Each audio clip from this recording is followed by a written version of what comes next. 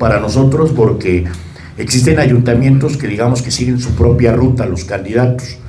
y entonces ellos impugnan, ¿no? Entonces yo calculo que deben, de, del lado de nosotros deben ser alrededor de 20 aproximadamente, no creo que sean más. Realmente, pues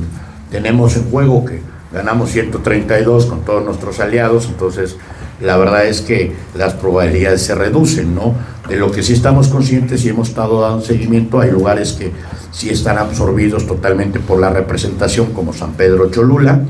eh, sí le estamos dando puntual seguimiento a Venustiano Carranza, a Chignahuapan, a las impugnaciones que fueron presentadas por las diputaciones de representación proporcional, pero creemos que estamos en todas las condiciones para poder solventar y salir avante de esos, de esos procesos jurídicos.